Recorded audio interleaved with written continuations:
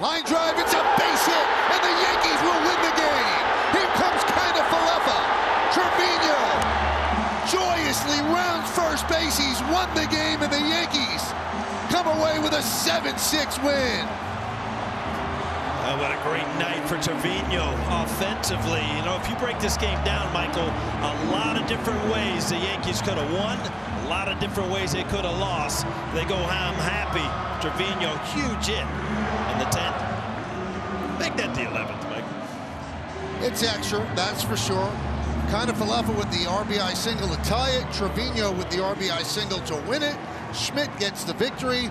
Yankees have tied the Orioles in this series one game apiece with the rubber game tomorrow night. And Trevino has become a very clutch Yankee, Paul.